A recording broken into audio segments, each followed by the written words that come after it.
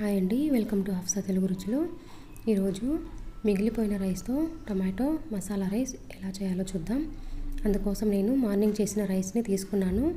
Evening time snack item లాగా చేస్తున్నాను అనమాట అలాగే వేడివేడి రైస్తో కూడా చేసుకోవచ్చండి.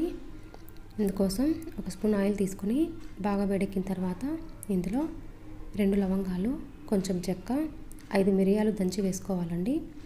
అలాగే ఒక మీడియం సైజు ఉల్లిపాయని ఇలా సన్నగా తరుక్కొని యాడ్ చేసుకోవాలి. ఈ ఉల్లిపాయలు బాగా వేగాలండి. గోల్డెన్ బ్రౌన్ కలర్ వచ్చే వరకు.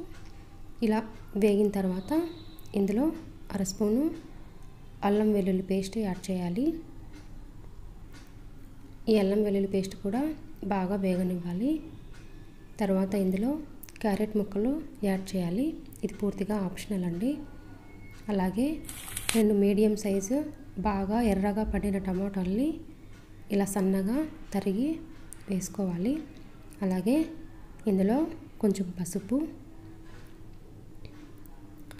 అర స్పూను ఉప్పు అర స్పూను కారం అలాగే కొంచెం గరం మసాలా పౌడర్ వేసి మొత్తం ఒకసారి కలిపి మూత పెట్టేసి ఐదు నిమిషాల వరకు మగ్గనివ్వాలండి. టమాటోలు మెత్తబడే వరకు.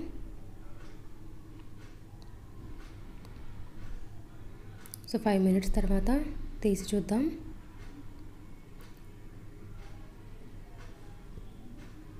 టమాటోలు బాగా మగ్గిపోయాయండి. అక్కడ పెద్ద పెద్దగా కనిపిస్తున్నాయి కదా అవి క్యారెట్ ముక్కలు అనమాట ఇప్పుడు ఇందులో రైస్ యాడ్ చేసుకుందాం. ఈ రైస్కి ఈ మసాలా అంత బాగా పట్టేలాగా కలుపుకోవాలి.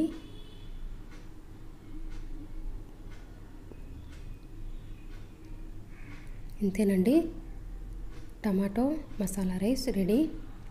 ఇది టిఫిన్గా అయినా లంచ్ బాక్స్కైనా ఈవినింగ్ స్నాక్ ఐటెంకైనా దేనికైనా బాగుంటుందండి. మీరు కూడా తప్పకుండా ట్రై చేయండి. నా ఈ రెసిపీ నచ్చినట్లయితే నా ఛానల్ని సబ్స్క్రైబ్ చేయండి. అలాగే మీ అభిప్రాయాన్ని కామెంట్ రూపంలో తెలియజేయండి.